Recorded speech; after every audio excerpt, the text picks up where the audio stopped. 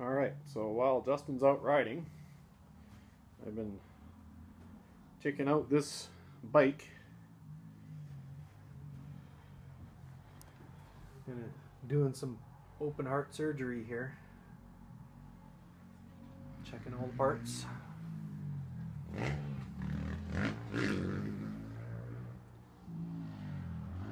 Not bad. Not bad overall. Looks really good. The uh, the carb is plugged up really badly though. But uh, the rest of the components, good shape.